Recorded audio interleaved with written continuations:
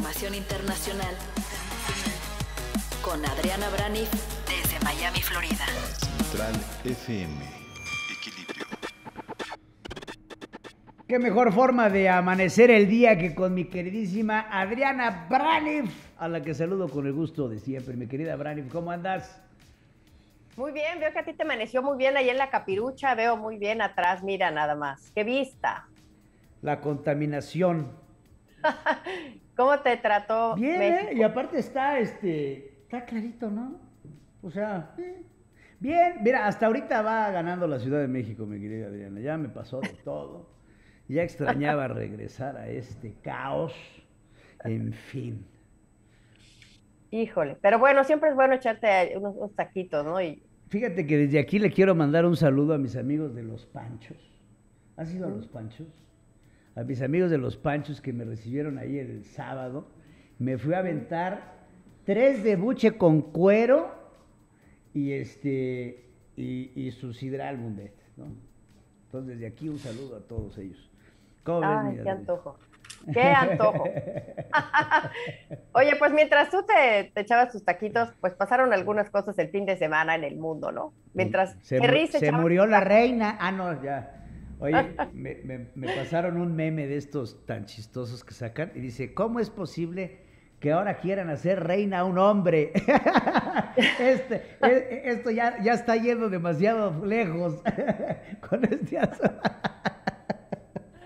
No faltaban los, los El- memes, el ¿no? idiota, man. ¿Cómo es posible que ahora van a querer hacer reina a un hombre? Estas tonterías han llegado demasiado lejos.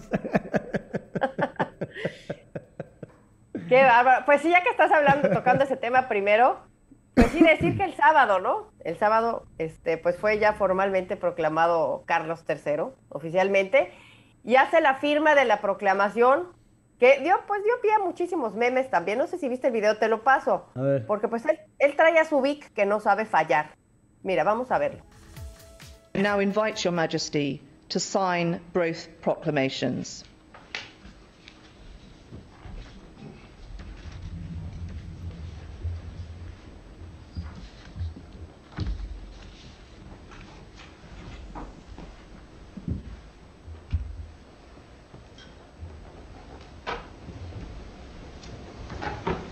Ya firma ahí, mira. Con, con su pluma que traía, ¿no? Su Vic que no sabe Sí, fallar. mandó quitar lo que había ahí, ¿no? Había ahí Sí. como un tintero. Eso, el tintero que le tenía ahí preparado, él llevaba su pluma, entonces ya la saca ahí de, de su camisa, firma los documentos, se guarda la pluma, y ya, pero bueno, este evento así de... de ¿cómo Oye, que le- por lo menos no fue como la pluma que se guardó López Obrador cuando Ah, firmó el, el tratado con Trump, ¿te acuerdas? Sí, es cierto. Las plumas que ponen ahí para que firme. Este souvenir está bueno. Se, se Ándale, robó su pa. Sharpie. Oye, Sharpie. mucha gente tomó esto como un desplante de Carlos porque llegó y le hace así al, yo creo que al mayordomo de la Casa Real, como que úchala, úchala, úchala, úchala. Y mucha gente tomó eso como un- el primer desplante del rey. Y yo te voy a decir, a ver, te pregunto, porque a, mí se me hace que la reina, digo, siempre va a haber comparaciones, ¿no? Es que la mamá, es que quién sabe. quién sabe, siempre va a haber comparaciones, siempre las hay. Pero yo siento que el rey Carlos III no cae igual de bien. Es más, no cae bien, punto. Es de este tipo de cuates que tiene cara de apestado, ¿no? Como que todo le huele feo, ¿no? ¿De? ¿Verdad? O sea, como carita así de que todo le huele feo. Entonces, este, como que no cae bien, cae bien el hijo y, la Kate, pero él no. Entonces hay que ver cómo se va la aceptación y no vaya a ser en una de esas, ¿eh? Que este vaya acabando con la monarquía, porque eh, la monarquía con la reina se trató de acabar en muchas ocasiones, Adriana. Hubo muchas iniciativas para acabar con esta monarquía parlamentaria, que es el nombre que se tiene en, el gobierno de- del Reino Unido de la Gran Bretaña, en donde hay mucha gente y hay un grupo en especial político y social en, en el Reino Unido que no aprecia la presencia de la monarquía, que es un símbolo, es un símbolo de tradición, porque no participan en las labores de gobierno, pero es un símbolo de tradición y hay movimientos importantísimos que buscan que se acabe con, con la monarquía. Exactamente, no solamente dentro de Gran Bretaña, sino los países del Commonwealth, muchos quizá pudieran empezar a, a, pedir ese retiro. Algunos no, no lo veo, pero sí bien dices que no es nada popular el hoy rey Carlos III, y sí lo es su hijo William, Sí. que es el ya el heredero natural ya del trono, que es el que sería el después el próximo rey. Ese sí tiene una popularidad muy buena, pero pues no el príncipe Car- el rey Carlos III y ya este la nueva reina consorte ya no, no tienen buena popularidad. El hecho es que, bueno, fue proclamado rey, leyeron ya la proclamación. Eh, si quieres, vamos a, a ver qué- cómo le- leen la proclamación y ya para pasar a otro, a otro tema. reign over us. Given at St. James's Palace on the 10th day of September and in the year of our Lord 2022.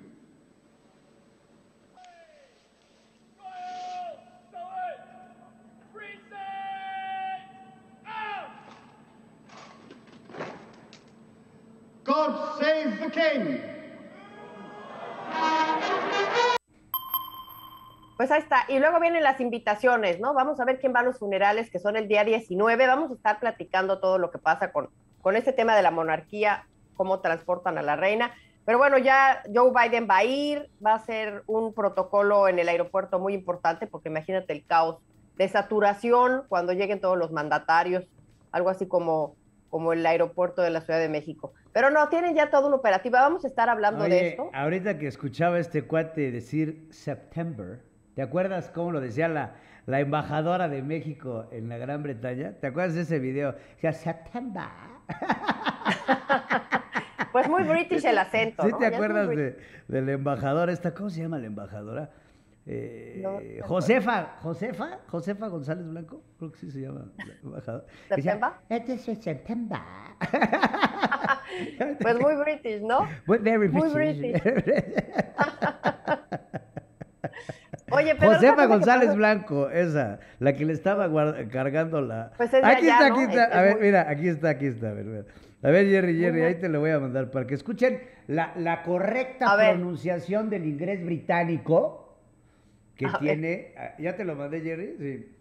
Y tienes el septiembre de ese señor. Y nada más cuando lo escuché me acordé del embajador, esta Josefa, que hacía este video ridículo, en donde... Ahorita en lo que lo cargan, en lo que lo cargan, nada más este, ¿sabes quién ya confirmó que sí va a los funerales? Es Jair Bolsonaro, el de ah, Brasil. yo te iba a decir que... Ah, sí, porque eh, están invitados todos los líderes del mundo, Y me- a- todo. a- menos ya sabes quién. Bueno, no sabemos. No, no va a ir, hasta crees. Si no va a, a ver a Joe Biden. Mira, ahí está, ahí está la embajadora, ve a la embajadora. A ver. A ver, para, para. everyone. I am Josefa González Blanco, Ambassador of Mexico in the United Kingdom. Today's the 1st of September. It's an important day for our bilateral. September. Pues sí, así, así es esto del, de- del asunto del, del, del Ay, acento, ay, ¿no? ay, no, no, me encanta Pero esto. bueno, entonces, vam- ya dijimos, no va a ser, el funeral va a ser hasta el día 19. Vamos a ver quién va, vamos a ver quién no va, vamos a ver cuál es el protocolo, porque te imaginas la saturación del aeropuerto cuando lleguen todos No, estos pues, jefes Ni de que Estado. fueran a llegar a la IFA. Ya les dijeron que procuren llegar en avión comercial. Sí, Los que no pueden, sí, que, que lleguen todos en Ryanair, que es este, la aerolínea de bajo costo de Europa. y luego los van a transportar en un camión, organizado obviamente por el Palacio, del aeropuerto, o sí, desde ahí hasta donde van a hacer los funerales, mm, porque no pueden llevar cada quien su comitiva, su séquito de autos, No, pues, porque sería un caos. Pues ya sí, sabes mira, cómo son los ingleses. un funeral de estos, pues no lo hemos visto en mucho tiempo. Eh, esto va a ser un evento que aparte va a ser televisado por todos lados. Todo el mundo va a Totalmente. estar al pendiente de- del funeral de Estado de la Reina. El último gran funeral que tuvimos de esta época fue la muerte de Jorge V, que fue su papá, ¿no? Este, y, y yo te puedo asegurar que el evento de la muerte de la reina Isabel va a ser, eh, eh, o sea, va a ser enorme, Adriana, enorme. Pues vamos a estar platicando y todo vaya que peso, porque- vaya peso que se le, que se le pone a, a Carlos III, ¿eh? Sí, sí, sí. Que escogió Carlos III, este, podría haber escogido de otros nombres, ¿no? Porque Se llama, pues tiene varios nombres, mira, aquí lo tengo, ¿cómo se llama? Él escogió ese, pero se llama Charles Philip Arthur George. O sea, pudo haber escogido o Philip o Arthur. No, el que George. sea. Eh, Tu nombre de monarca puede ser que Sí, o quieras. puede escoger otro, pero él escogió este, es- escoger este, ¿no? Que realmente estaba escuchando y leyendo algunas cosas que fue polémico, que pensaron que no lo iba a hacer, dado que Carlos I y Carlos II, pues tienen ahí como alguna historia de autoritarismo uno, de Playboy otro, pero finalmente pues es ya, ya es un hecho, ¿no? Es Carlos III. Oye, otro asunto rápido antes de que se pero, acabe el tiempo. pero iba a querer Carlos V, pero ese es el de México. Ya lo pusimos al, al, López Obrador. Va a ser Carlos V porque es el rey de chocolate. Ah, sí. El Carlos V, no sé ni si exista todavía, ¿no? El Carlos V, ¿Qué pasó, no sé si es... Adriana? ¿Qué pa- Que Hablo del chocolate, de la barrita. Por eso, es que es el chocolate por excelencia. Un Sí. Carlos V, fíjate, ah, vas esto, ¿eh? ahora que vengas acá. Compras un bolillo, ¿ok? Le sacas el migajón, le introduces un Carlos V y lo metes al micro 15, 20 segunditos. Y ¿qué más necesitas? Después de eso, morirte, nada más. ¿Eh? Oye, a ver, ¿qué otro Oye, tema me tienes, Adri? Bueno, luego te cuento la versión norteamericana que son los S'mores, pero bueno. Otras, otro asunto fue el 9-11, ¿no? Que se celebró ayer, hay que, hay que comentarlo. Ayer, un día como ayer, pero de hace 21 años ya, Estados Unidos recibió el peor ataque de su historia. ¿A dónde? A las Torres Gemelas, al Pentágono y otro que se estrelló ahí en Pensilvania. Y Biden pues dio la ceremonia ahí en el Pentágono y es un día de reflexión, Pedro, porque pues eh, es el ahí comenzó eh, la guerra en contra del terrorismo por parte de los Estados Unidos. Ahí fue cuando empezó el asunto de la guerra en Afganistán, que precisamente Joe Biden acaba con ella hace un año, sacando las tropas, eh, siendo la guerra más larga y costosa de los Estados Unidos, que fue una, una retirada muy caótica, como lo comentamos aquí, el aeropuerto de Kabul, todos los afganos tratando de, de subirse a cualquier avión para salir, porque iba a regresar Claro. el régimen talibán. Y acuérdate que se inmola uno con una bomba y mueren 170 afganos, hasta 13 soldados norteamericanos. Pero bueno, ese fue, ese fue el asunto y el tema lo retomó Joe Biden y dijo que la guerra contra el terrorismo no ha acabado. Y tan es así que hace un mes también aquí narrábamos cómo un dron mata ahí en Afganistán, que es la cuna donde se, donde se organizó el ataque al 9-11, por eso fueron las tropas norteamericanas, y ahí mismo mata al que toma el lugar de Osama Bin Laden como jefe de Al Qaeda, como líder de Al Qaeda, justamente hace, hace un mes. Así es que pues momento de reflexión el día de ayer con, con este 9-11, 21 años, Pedro. Oye, eh, hemos dicho esto N cantidad de veces, ¿no? Pero todos los que vivimos el 9-11 nos acordamos en dónde estábamos el momento preciso en que sucedió el ataque. Yo creo que es uno de los eventos que más ha marcado nuestra historia, Adriana, este, reciente. Eh, este momento en el que todos estábamos pues, pues atónitos, perplejos. ¿Tú dónde estabas, Rafles? Estabas transmitiendo con mi jefe, ¿no? En ese momento, yo me acuerdo, yo estaba escuchando el noticiero. Y de repente estaba yo escuchando a mi papá, yo estaba en el estacionamiento de la universidad para entrar a mi clase de en la mañana. Y este, escuchaba a mi papá decir que se estaba confirmando el ataque y después estaba con un cuate de la F. Estaba con un reportero de la F que decía, bueno, Pedro, efectivamente estamos aquí. Y, y entonces ve a mi papá el otro choque del avión y le dice, se acaba de estrellar otro avión. Y el reportero le dice, bueno, no podemos confirmar. No, no, no, no, te estoy diciendo que se acaba de estrellar otro avión. Y, y estábamos todos viendo estas escenas como si fueran escenas de una película. Increíble, mano, increíble. Obviamente se suspendieron clases, este, todo el mundo estábamos prensados al televisor viendo las dramáticas escenas de cómo la gente salía, cómo se caían, esa, ese momento en el que se cayeron las torres, ¿no? En vivo.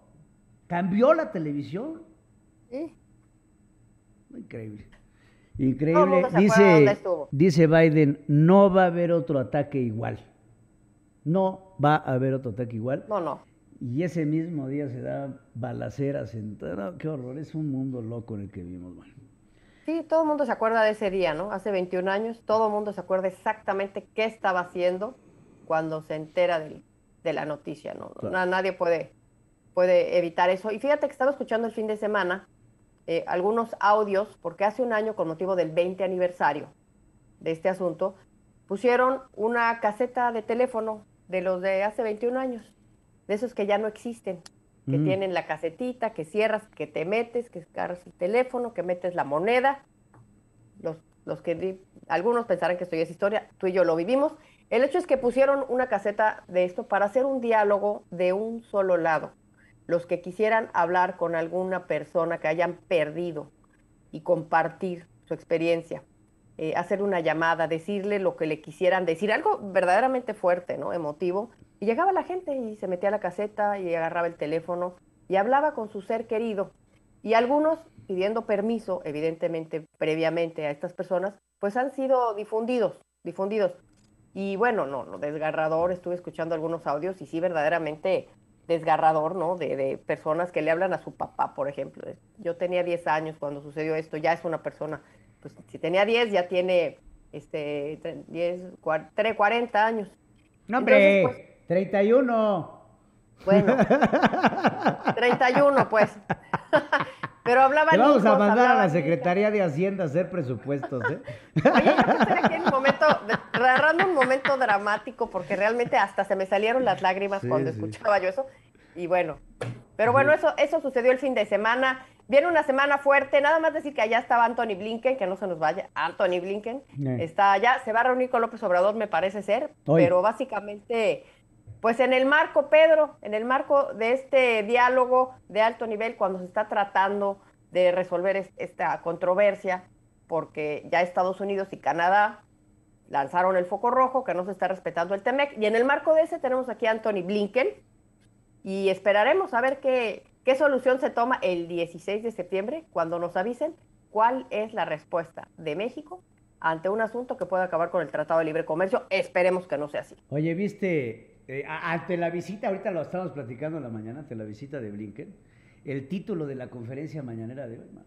O sea, A ver. mira, pónselo, Jerry. Este, el título de la conferencia mañanera de hoy decía: México no se vende. Ahí está, ¿no? México no está en venta. Híjole, manos, ¿de dónde sacan? Y esto es justamente, dice, México no se vende, México es de los mexicanos de nuestra generación y, y de los que vienen. Y ese es el título de la conferencia mañanera de hoy, Adriana. Híjole. Cuando hoy Yo- el bueno. presidente se reúne con Blinken, le da un, me- un, un, ca- un cachetadoncito con guante blanco de entrada. Buenos días, México no se vende. Pues ¿quién lo Oye, está le van a pasar la, la minuta, ¿no? Como cuando vas al teatro y te pasan la hojita donde vienen los y, y actores. luego lo que dice Marcelo, ¿no?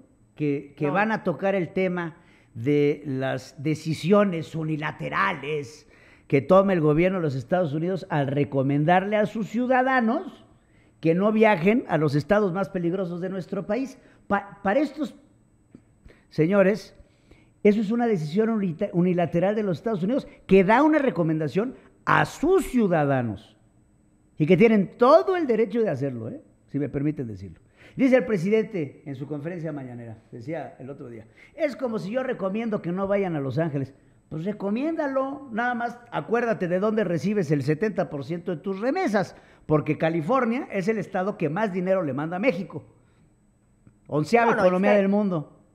Nada más. Comentábamos que, que, que quisiera, ¿no? El presidente que el gobierno de Estados Unidos promocionara, va- viaje por las carreteras de Sí. México, y tenga la experiencia de un retén. ¿Quiere usted No, ser secuestrado? ¿Busca usted una experiencia este, única en su vida? ¿Quiere que le mochen una oreja o le corten un dedo? Pase. Véngase a Zacatecas. Exacto. Visit Oye, Zacatecas. ¿y el lugar en donde qué? puede usted perder la vida. Oye, es turismo extremo. Oye. No, pero ¿sabes por qué lo dijo ese día? Y estaba tan enojado López Obrador, ya nada más para terminar. Porque previamente el embajador Ken Salazar había hecho un comentario que no le había gustado, justamente en su viaje a Zacatecas, Pues sí. cuando decía, es más seguro caminar en el Central Park que en, que en Chapultepec. En el Y Central entonces- Park de noche y con billetes de 100 dólares pegados al cuerpo como post-its.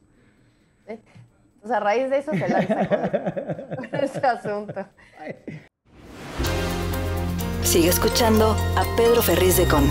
Central FM.